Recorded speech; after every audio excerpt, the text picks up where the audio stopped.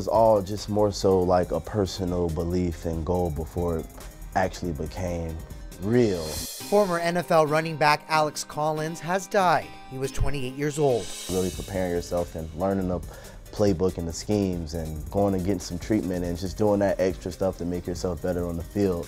The athlete's former team, the Seattle Seahawks, confirmed the sad news Monday on social media, saying they're absolutely heartbroken, sharing this photo and a statement from Alex's family.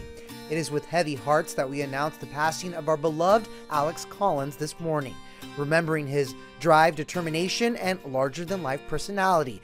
The family also asking for thoughts and prayers during this difficult time. I definitely feel like it was more growing as a man, you know, just understanding and accepting my responsibilities, making a lot of sacrifices, and, and that's just what it's all about. You know, especially to be successful in, in, in this game, you got to make sacrifices. Meanwhile, the Baltimore Ravens also paid tribute to Alex, who played for them for two seasons, writing, Always quick to greet everyone with a smile, he was a genuinely kind person who carried a special joy and passion wherever he went.